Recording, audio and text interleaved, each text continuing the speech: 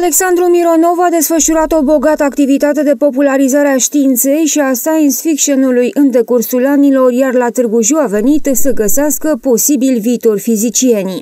De ce să-mi le vrem în mințile copilor de pe acum ideea? În 2100 veți fi, un milion dintre voi vor fi pe Marte, asta cred eu. Oamenii de știință spun că nu, nu vor fi decât vreo 10.000, 20.000. Gheorghe Munteanu, învățător în cadrul școlii Pompiliu Marcea, spune că elevii au fost foarte interesați de ce le-a povestit Mironov. Împreună cu elevii suntem toți dornici de a afla lucruri interesante din uh, expunerea dumnealui, care are loc în amfiteatru școlii.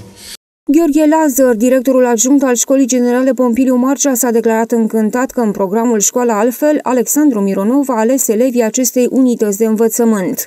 O activitate deosebită în cadrul uh, școlii noastre, întrucât uh, colegii au pus la punct și au adus în fața noastră pe cei de la știință și tehnică, împreună cu domnul profesor academician Alexandru Mironov.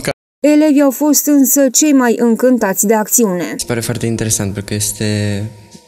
Eram curios și este chiar interesant să vezi diferite idei sau să-ți formezi diferite perspective și este un eveniment minunat și unic. Nu se întâmplă în fiecare zi să stai alături de un mare om de știință ca domnul Mironov.